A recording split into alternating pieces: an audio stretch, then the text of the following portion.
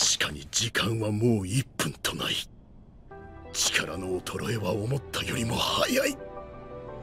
さあクリアして帰ろう。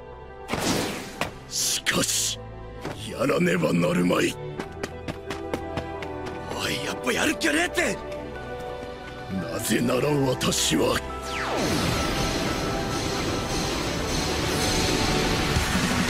平和の象徴なのだから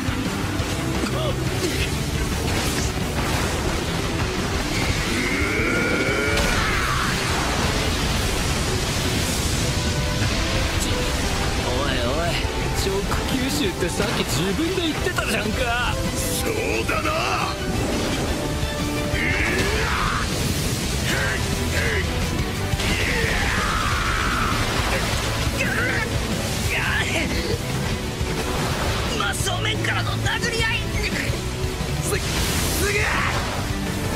近づけ、うん、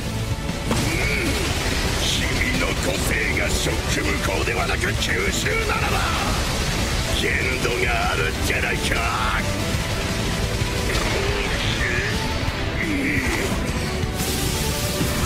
私対策私の100%を耐えるならさらに上からねじ伏せよ血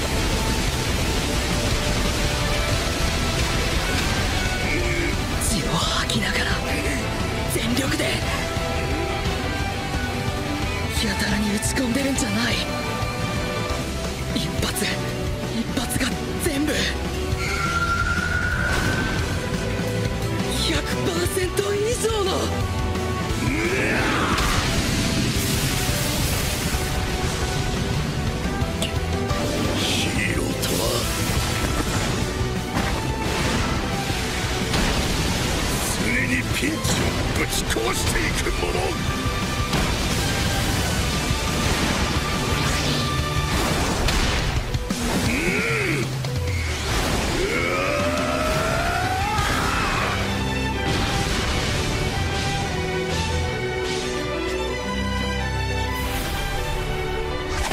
いらんよ。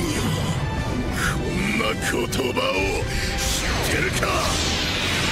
さらに向こう